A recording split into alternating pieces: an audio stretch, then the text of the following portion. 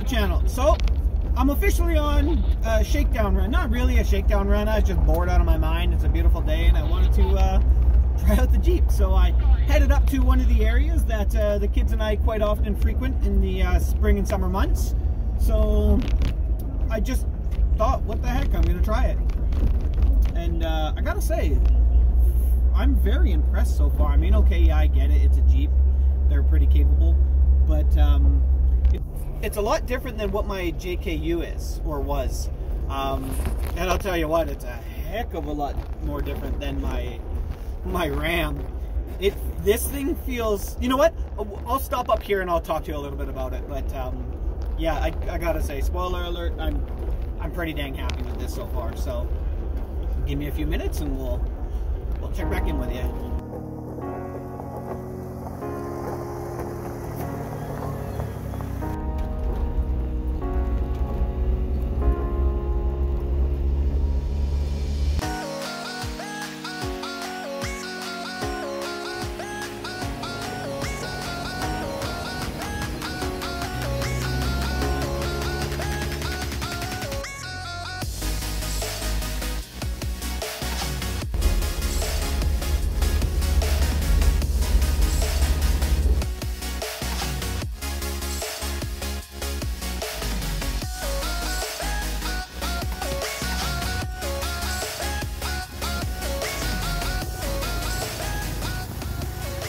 All right. Well, I hope you guys enjoyed that ride up here as much as I did. Um, I have to say, this thing has been great so far. Uh, it's noisy inside. It's a Jeep. But what the heck, right? So the only thing I would say is uh, it's going to take a little bit of getting used to with how close you sit to the rear axle. I mean, that to me feels extremely weird. It's almost like I'm driving a sports car, but a very capable sports car. But um, yeah, what I wanted to say on the way up here was this thing being a 1998 feels more stable than my six year newer Ram 1500 at uh, highway speeds and off road. Like it feels like a beast up here. My Dodge, last time I was up here quadding, I don't know if we made a video of that or not. It was sketchy coming up this road. Like it was just walking all over the place. And this thing, it just seems to stick to the road. Oh, give me one sec. My radio's going crazy. What was that? Something Kelowna, something rather. I missed it. It's important, they'll come back on. Um, but yeah, man, it feels so good to be back in a Jeep. And I can't wait to, you know, get the winch and everything on. I was playing around down in here. I don't know if you guys, if I pushed record. I know I got coming over the little hump here. I went a little ways down and I was like, you know what, this is dumb. I'm not going to do this by myself with no winch. So I turned around, got the heck out of there. But it feels so good, like it's just driving on pavement. And I guess that can be attributed to the fact that I'm running a 31 inch winter tire. Whatever, it is what it is.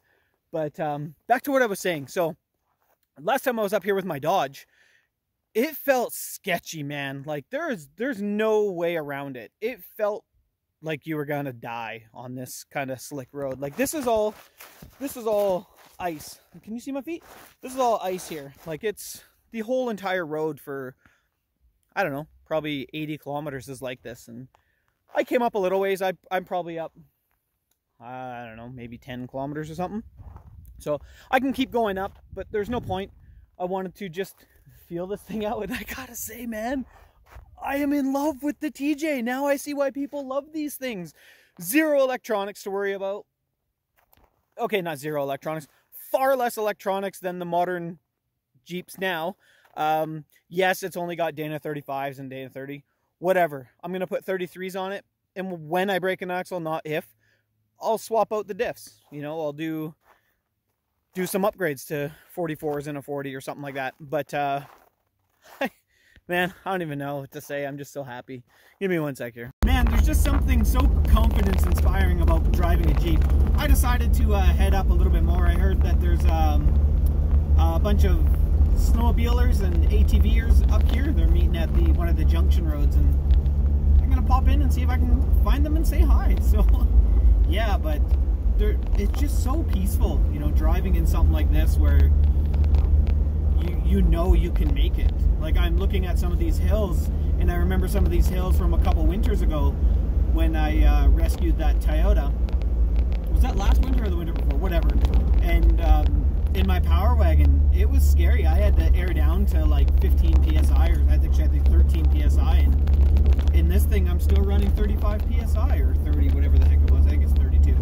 Um, and I, I still feel 100% confident.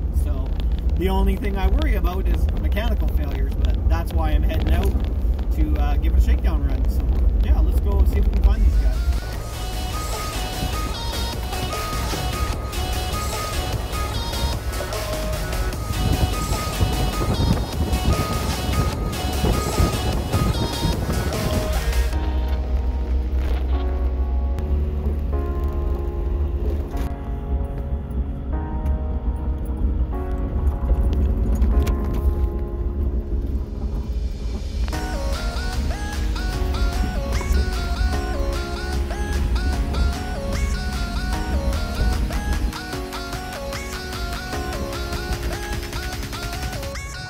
Okay, well, I'm going to end that off here. I came all the way up to the junction here. There's nobody here.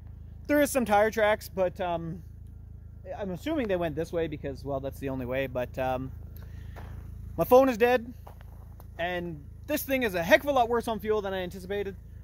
So I'm going to turn around and head back out. So, um, yeah, if you guys enjoyed this type of content and uh, you want to see the build on this thing, stick around. I got a lot of cool things planned for it. And in the end, a really big announcement in regards to this Jeep. So, um, yeah, I appreciate you guys watching. Please like, comment, and subscribe, and we'll see you on the next one.